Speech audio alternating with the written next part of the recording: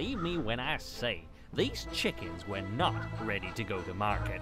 And I told McCole as much. He said to me, Toby, you're a tram engine. What do you know about chickens? I said, Son, I'm over a hundred years old, a trained animal exorcist, and my coach Henrietta was nearly turned into a henhouse on at least one occasion. I know a thing or two about chickens. Who are you talking to? Oh, hello there, Thomas.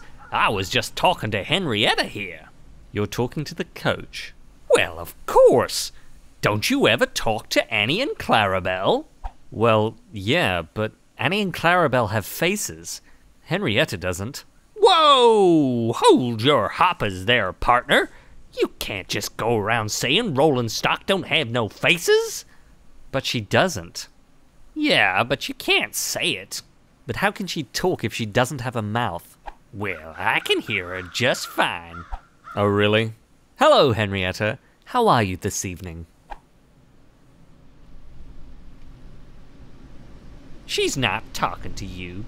Why's that? You're a fascist. I think you mean fascist. That too. Ugh. Well, go on then. What's a fascist? Oh my gosh, Henrietta, he doesn't even know!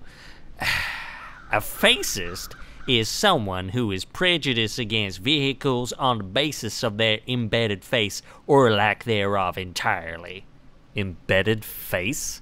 Yeah, you know, like uh, Harold, Jeremy, Caroline, Lightning McQueen, or. Or Annie and Clarabelle. Aha! See? I can't be a fascist. My coaches have embedded faces. Yep. That's what they all say. Huh. Well, if I'm a fascist, I guess Britt and David were too. After all, BoCo, Daisy, Bulgy, and others had embedded faces in the railway series, but not in the television show. Oh, yeah? Yeah. And frankly, I wish Annie and Clarabelle got the same treatment. it would have made the universe more creatively consistent. How could you say such a thing about your own coaches? The diversity of faces in the railway series was beautiful. The TV show was poorer for not having had as much. Oh, please. Imagine if all the characters with two cabs had a front and rear face like they do in the books. How bizarre and terrifying would that be? No one would ever do that on screen. Oh, really?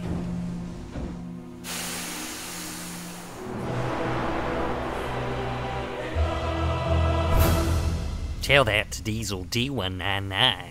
Ah!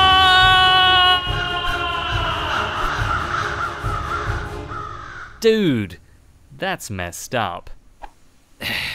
You are a terrible example for children everywhere.